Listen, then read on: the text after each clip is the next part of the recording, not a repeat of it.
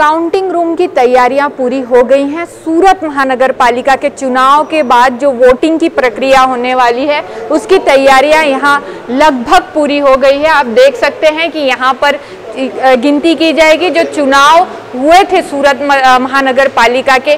यहाँ इसी तरह के कमरों में वोटिंग होगी। इस समय हम लोग गांधी इंजीनियरिंग कॉलेज में हैं।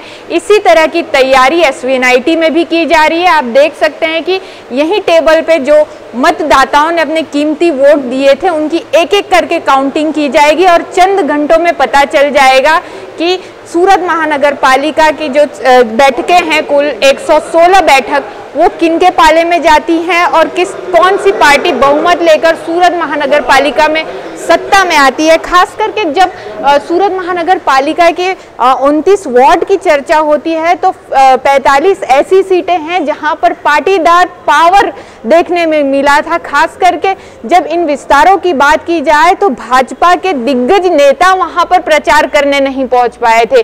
खासा नाराज़गी यहाँ पर देखना मिला था।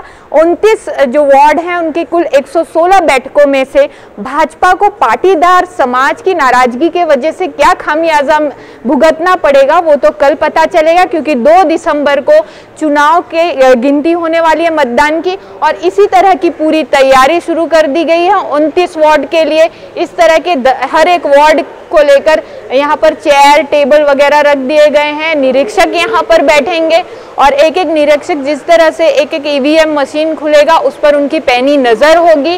आप देख सकते हैं कि किस तरह से यहाँ पर उम्मीदवार के नाम भी लिखे जा रहे हैं। इस समय ये वार्ड नंबर छब्बीस यानी कि डिंडोली दक्षिण के जितने भी उम्मीदवार हैं, उनके नाम यहाँ पर लिखे जा रहे हैं।